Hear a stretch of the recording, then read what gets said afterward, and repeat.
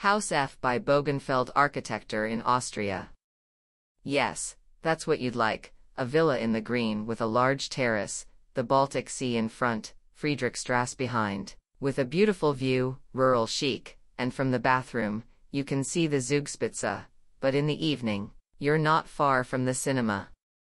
Wrote Kurt Tucholsky in Berlin in 1927 in his humorous poem Ideal and Reality, concluding with, Every happiness has a catch. We want so much to have, to be, and to matter. That someone has it all, that is rare.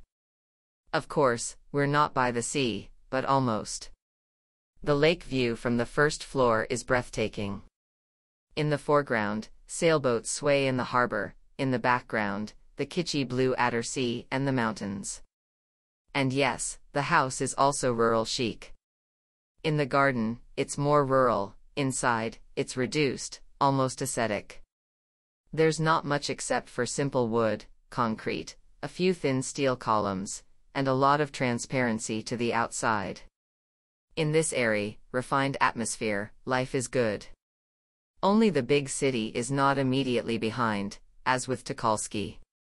But having it all is rare, as the writer and journalist accurately observed a century ago there wasn't much space on the small plot. That's why there weren't so many options for placing the volume. The house is narrow and long, nestling against the western edge. This keeps the garden as large as possible while ensuring a good view. Everything is oriented inwards, towards the garden on the ground floor. Only on the first floor does the house practically change orientation and face the lake, overlooking the road in front. Like a lookout, everything can be seen from here. Externally, the house is also modest. The pitched roof corresponds to the typology found here. The clear form of the wooden construction and its black lacquered wooden facade draws inspiration from the many boathouses around the lake.